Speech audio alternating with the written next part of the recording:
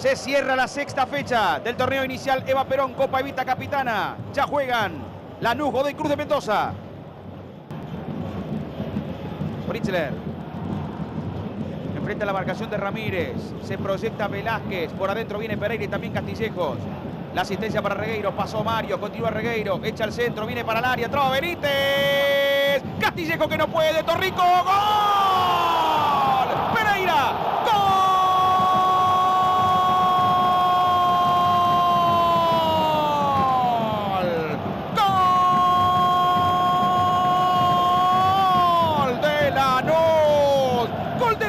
De Mauricio Pereira! En el arranque del partido para dejarlo tranquilo a Guille.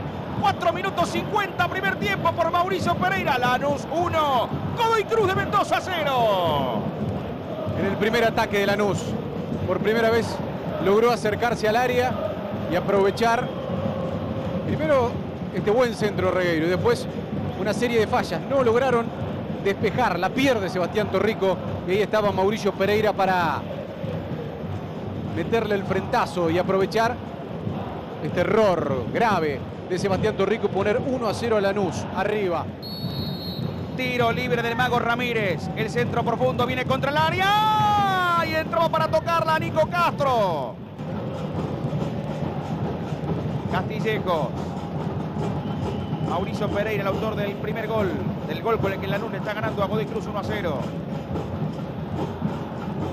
Llega Castro, intercepta Araujo. Y aquí está Pizarro. Y a continuación Pereira. Araujo. Escapando de Camacho. Qué bien que le hizo Araujo. ¡Araujo! La domina el arquero de Godoy Cruz. La pelota frontal para Óbolo. Le gana el salto a Fritzler. Castillón. Busca Camacho. En la marca Fritzler. Pereira.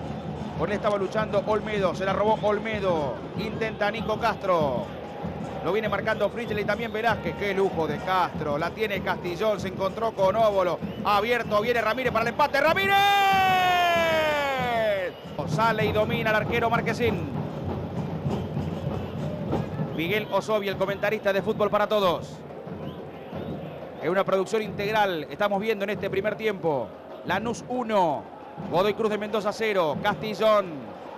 Se equivocó Fritzler. Continúa Castillón. La asistencia para Castro y está el empate. ¡Castro!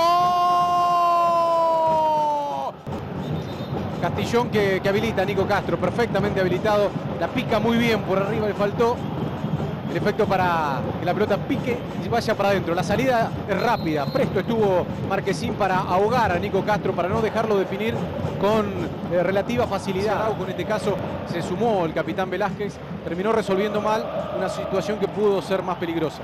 La bajó Óbolo para Castillón, domina Facundo, continúa Castillón. Atención con Camacho, el centro para Óbolo, tira la media vuelta, Óbolo, gol. ¿No? Y aprovechando de un error de Lanús suma a Óbolo de una posición inmejorable, la media vuelta, la pelota que pega en los carteles publicitarios por detrás del arco.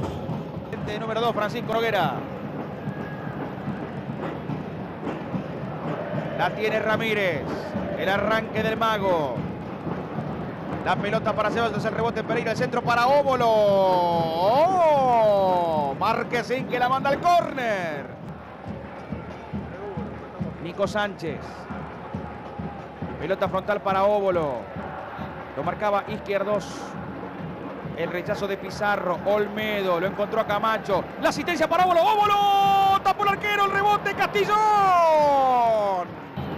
Aquí el taco de Olmedo para limpiar la jugada. Gran pase entre líneas de Camacho. Y otra vez Marquesín para salvar a Lanús. Cara a cara quedó Óbolo. Ha tenido muchas situaciones, el que logró llegar a posiciones de gol y también recuperar muchas pelotas. Fútbol para todos, segundo tiempo. Lanús 1, Godoy Cruz, Antonio Tomba de Mendoza 0. Va picando Pereira. Movimientos en el área mendocina. El centro de Regueiro. ¡Oh, ¡Gol! ¡Paulo Gol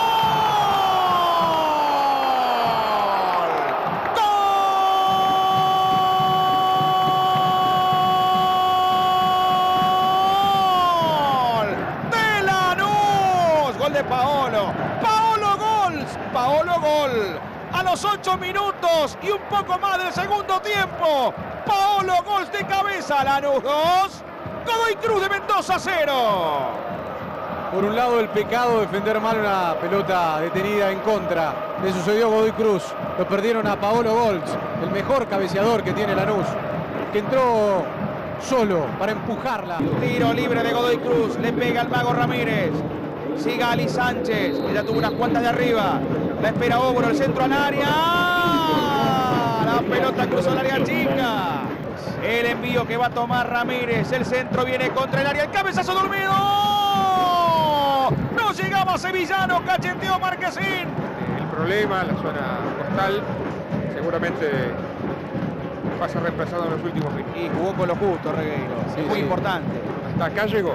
Está fusilado, fusilado. Atención que se va izquierdos al ataque. Solo Castillejos. Aparece Regueiro. Solo Castillejos. Pelota para Regueiro. Centro y gol de Castillejos. ¡Uh! Casi gol en contra.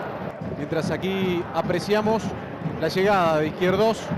Resuelve bien Regueiro con el centro atrás para Valeri, que, para Castillejo, que llegaba en soledad. El esfuerzo de Insúa terminó salvando a No alcanzó. Ustedes hablaban de recuperación de jugadores en Lanús. Bueno, el que se va recuperando un desgarro es Romero. Señoras, señores, Piti marca Pompeya el final del partido. ¡Ganó!